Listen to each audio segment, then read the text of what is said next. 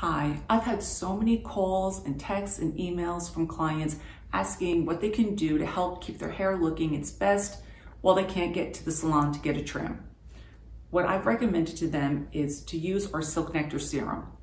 This is going to help smooth the hair, make it really shiny, and add strength to the ends.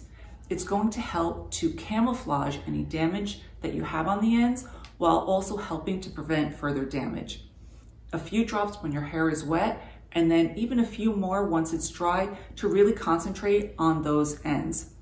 So here's a video to show you how to use it and really show you what the product can do.